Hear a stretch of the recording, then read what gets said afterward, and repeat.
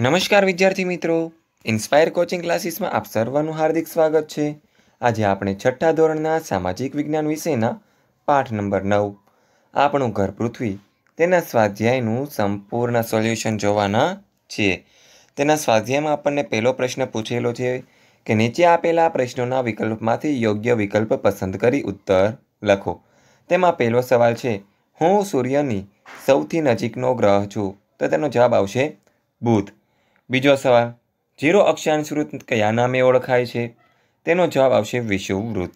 ત્રીજો સવાલ છે, ત્રેવીસ પોઈન્ટ પાંચ ઉત્તર અક્ષાંશ અને છાસઠ પોઈન્ટ પાંચ ઉત્તર અક્ષાંશ વચ્ચે કયો કટિબંધ આવેલો છે? તેનો જવાબ આવશે સમશીતોષ્ણ કટિબંધ. પછી ચોથું, હું મારી ધરી પર ત્રેવીસ પોઈન્ટ પાંચનો ખૂણો બનાવું છું, તો તેનો જવાબ આવશે પૃથ્વી. પાંચમો સવાલ, સૂર્યનો ક્રાંતિવૃત્ત વિષુવવૃત્તને વર્ષમાં કેટલી વાર છેદે છે? તેનો જવાબ આવશે બે વાર. છઠ્ઠો સવાલ, કોના અંતરાયથી પૃથ્વી પર સૂર્યગ્રહણ જોવા મળે છે? તેનો જવાબ આવશે ચંદ્ર. પ્રશ્ન નંબર બે, મને ઓળખો. એમાં પહેલો સવાલ છે, મને પીમકાઈ ગ્રહ પણ કહે છે. તેનો જવાબ આવશે ગુરુ. બીજા નંબરનો સવાલ, મને ઓળંગતા તારીખ બદલવી પડે. તેનો જવાબ આવશે આંતરરાષ્ટ્રીય દિનાંતર રેખા. ત્રીજું, હું નેવું અંશ દક્ષિણ અક્ષાંશ છું. તેનો જવાબ આવશે દક્ષિણ ધ્રુવ. ચોથો સવાલ. હું પૃથ્વીની આસપાસ ફરું છું. તેનો જવાબ આવશે ચંદ્ર. પાંચમું. હું ન હોઉં તો જીવસૃષ્ટિ નાશ પામે. તેનો જવાબ આવશે સૂર્ય. પ્રશ્ન નંબર ત્રણ. નીચેના વિધાનો ખરા છે કે ખોટા તે જણાવો. પહેલો સવાલ છે, ચંદ્ર સ્વયં પ્રકાશિત છે. આ વિધાન ખોટું છે. બીજું, નેપચ્યુન નીલા રંગનો ગ્રહ છે. આ વિધાન સાચું છે. ત્રીજું પૃથ્વી પર દોરેલી કાલ્પનિક આડી રેખાઓને અક્ષાંશ કહે છે. આ વિધાન સાચું છે. ચોથો સવાલ, એકવીસમી જૂને કર્કવૃત્ત પર શિયાળો હોય છે. આ વિધાન ખોટું છે. પાંચમું, વિશ્વવૃત્ત પર ખૂબ જ ઠંડી પડે છે. આ વિધાન ખોટું છે. છઠ્ઠું, નેવું અંશ ઉત્તર અક્ષાંશ ઉત્તર ધ્રુવ કહેવાય છે. આ વિધાન સાચું છે. પ્રશ્ન નંબર ચાર, એક એક વાક્યમાં ઉત્તર આપો. તેમાં પહેલો સવાલ છે પૃથ્વીની ગતિઓ કેટલી છે? તેનો જવાબ આવશે, પૃથ્વીની બે ગતિઓ છે. પહેલું છે પરિભ્રમણ અને બીજું છે પરિક્રમણ. બીજો સવાલ, ધ્રુવનો તારો કઈ દિશામાં જોવા મળે છે? તેનો જવાબ આવશે, ધ્રુવનો તારો ઉત્તર દિશામાં જોવા મળે છે. ત્રીજો સવાલ, સૂર્યમંડળનો સૌથી ચમકતો ગ્રહ કયો છે? તેનો જવાબ આવશે, શુક્ર સૂર્યમંડળનો સૌથી ચમકતો ગ્રહ છે. ચોથો સવાલ એકસો એંસી અંશ રેખાંશૃત કયા નામે ઓળખાય છે? તેનો જવાબ આવશે એકસો એંસી અંશ રેખાંશૃત આંતરરાષ્ટ્રીય દિનાંતર રેખા, એટલે કે ઇન્ટરનેશનલ ડેટ નામે ઓળખાય છે. પ્રશ્ન નંબર પાંચ, ત્રણ ચાર વાક્યમાં ઉત્તર આપો. તેમાં પહેલો સવાલ છે, પૃથ્વી પોતાની ધરી પર ન ફરે તો શું થાય? તો તેનો જવાબ આવશે, જો પૃથ્વી પોતાની ધરી પર ફરતી ન હોત તો તેના બધા ભાગો વારાફરતી સૂર્ય સામે આવતા ન હોત. પરિણામે દિવસ અને રાત ન થાત. પૃથ્વીનો જે ભાગ સૂર્યની સામે હોય, તેના પર કાયમ માટે દિવસ રહેત અને પૃથ્વીનો જે ભાગ સૂર્યથી વિરુદ્ધ દિશામાં હોય, તેના કાયમ માટે રાત રહેત. બીજો સવાલ અક્ષાંશ વૃત્ત અને રેખાંશ એટલે શું? તો તેમાં પહેલું જોઈએ અક્ષાંશ વૃત્ત તો કે પૃથ્વીના ગોળા પર દોરેલી આડી કાલ્પનિક રેખાઓ અક્ષાંશ ઋત કહેવાય છે. બીજું રેખાંશ ઋત તો કે પૃથ્વીના ગોળા પર દોરેલી ઊભી કાલ્પનિક રેખાઓ રેખાંશ ઋત કહેવાય છે. ત્રીજો સવાલ, ફેબ્રુઆરી માસમાં ક્યારેક ઓગણત્રીસ દિવસ હોય છે? વિધાન સમજાવો. તો તેનો જવાબ આવશે, પૃથ્વીનું એક વર્ષ ત્રણસો પાસઠ દિવસ અને છ કલાકનું છે. છ કલાક એટલે એક દિવસનો ચોથો ભાગ. ચોથા ભાગની ગણતરી કરવાનું અગવડભર્યું હોવાથી ત્રણસો પાસઠ દિવસોએ વર્ષ પૂરું કરવામાં આવે છે.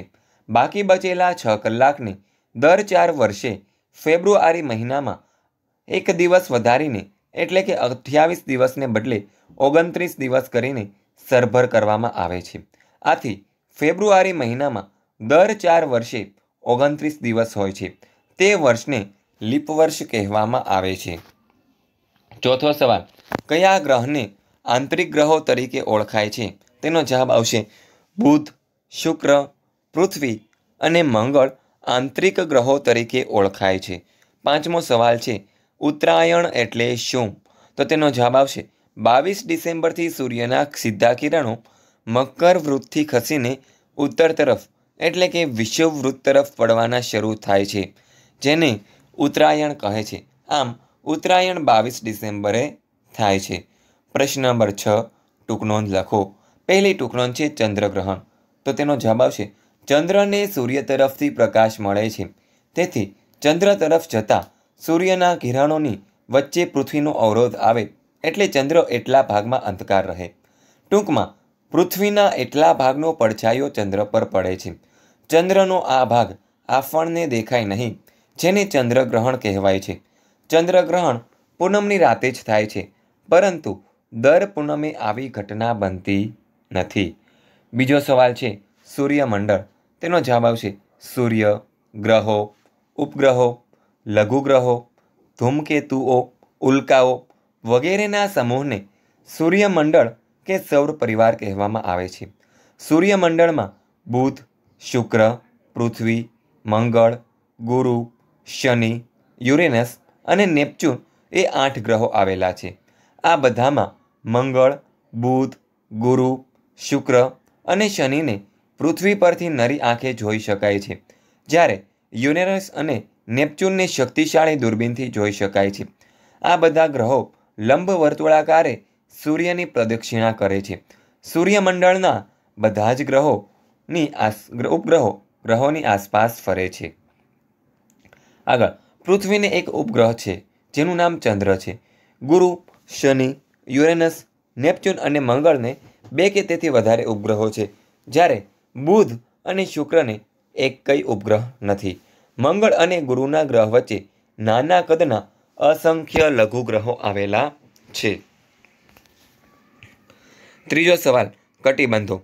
તો કે પૃથ્વી પરના અક્ષાંશો પર વર્ષ દરમિયાન જે પ્રકાશ અને ગરમી મળે છે, તે જોતાં તેમને નીચે મુજબ ત્રણ વિભાગમાં વહેંચી શકાય. પહેલું ઉષ્ણ કટિબંધ તો તેનો જવાબ આવશે ત્રેવીસ પોઈન્ટ પાંચ, ઉત્તર અક્ષાંશથી ત્રેવીસ પોઈન્ટ પાંચ, દક્ષિણ અક્ષાંશ વચ્ચે આવેલો વિસ્તાર. ઉષ્ણ કટિબંધ કહેવાય છે. ઉષ્ણ કટિબંધના વિસ્તારમાં બારે માસ સૂર્યના કિરણો સીધા પડે છે. તેથી આ વિસ્તારમાં પ્રકાશ અને ગરમીનું પ્રમાણ સામાન્ય રીતે બારે માસ વધારે રહે છે. બીજો સવાલ, સમશીતોષ્ણ કટિબંધ તો બંને ગોળાર્ધમાં ત્રેવીસ પોઈન્ટ પાંચ અક્ષાંશથી છાસઠ પોઈન્ટ પાંચ અક્ષાંશ વચ્ચે આવેલો વિસ્તાર સમશીતોષ્ણ કટિબંધ કહેવાય છે. આ વિસ્તારમાં સૂર્યના કિરણો બહુ સીધા કે બહુ ત્રાસા પડતા નથી. તેથી આ વિસ્તારમાં પ્રકાશ અને ગરમીનું આખું વર્ષ મધ્યમ પ્રમાણમાં રહે છે. ત્રીજો સવાલ છે શીત કટિબંધ. તો તેનો જવાબ આવશે. બંને ગોળાર્ધમાં છાસઠ પોઈન્ટ પાંચ અક્ષાંશથી નેવું અક્ષાંશ વચ્ચે આવેલા વિસ્તાર શીત કટિબંધ કહેવાય છે. આ વિસ્તારમાં આખું વર્ષ સૂર્યના કિરણો અત્યંત ત્રાસા પડે છે. તેથી અહીં પ્રકાશ અને ગરમીનું પ્રમાણ બારેમાસ ઘણું ઓછું રહે છે. ધ્રુવ તરફના પ્રદેશને શિયાળાના અમુક દિવસોમાં સૂર્યનો પ્રકાશ મળતો ન હોવાથી એ પ્રદેશને ગરમી મળતી નથી. ચોથો સવાલ, સંપાપ. તો કે સૂર્યનો ક્રાંતિવૃત્ત અને વિષુવવૃત્ત દિન વર્ષમાં બે વખત એકબીજાને છેદે છે. છેદન બિંદુને સંપાત દિવસ કહેવામાં આવે છે. સંપાત દરમિયાન સૂર્ય ઉત્તર તરફ ખસતો જતાં ઉત્તર ગોળાર્ધમાં ત્રેવીસમી સપ્ટેમ્બરથી દિવસની લંબાઈ વધતી જાય છે અને રાત ટૂંકી થતી જાય છે. ઉત્તર ગોળાર્ધમાં એકવીસ જૂન વર્ષનો સૌથી લાંબામાં લાંબો દિવસ અને ટૂંકામાં ટૂંકી રાત હોય છે. સૂર્ય દક્ષિણ તરફ ખસતા જતાં દક્ષિણ ગોળાર્ધમાં ત્રેવીસમી સપ્ટેમ્બરથી જાય છે અને બનારસની લંબાઈ વધતી જાય છે. રાત અને ટૂંક થતી, ટૂંકી થતી જાય છે. દક્ષિણ ગોળાર્ધમાં બાવીસમી ડિસેમ્બરે વર્ષનો સૌથી લાંબામાં લાંબો દિવસ અને ટૂંકામાં ટૂંકી રાત્રિ હોય છે. વર્ષ દરમિયાન એકવીસમી માર્ચ અને ત્રેવીસમી સપ્ટેમ્બર સૂર્યના કિરણો વિષુ પર સીધા પડતા હોય, રાત અને દિવસ સરખા હો, થતા જાય છે, જે વિષુવવૃત્ત દિન તરીકે ઓળખાય છે. વિદ્યાર્થી મિત્રો આ વીડિયો જોવા બદલ આપ સર્વનો ખૂબ ખૂબ આભાર.